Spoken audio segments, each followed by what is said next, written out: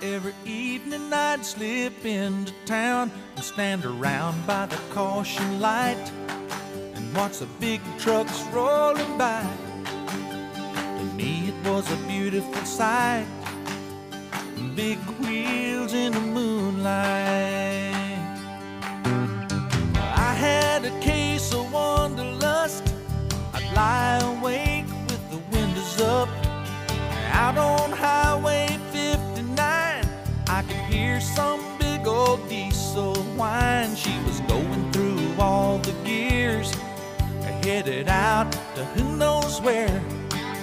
Fell asleep most every night, dreaming about big wheels in the moonlight.